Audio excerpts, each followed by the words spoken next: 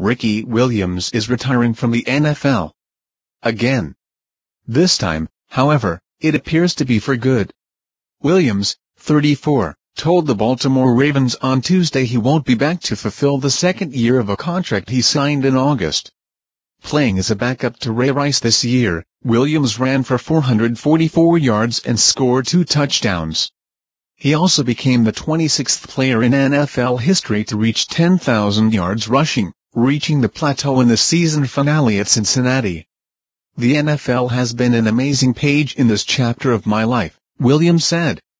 I pray that all successive adventures offer me the same potential for growth, success and most importantly, fun.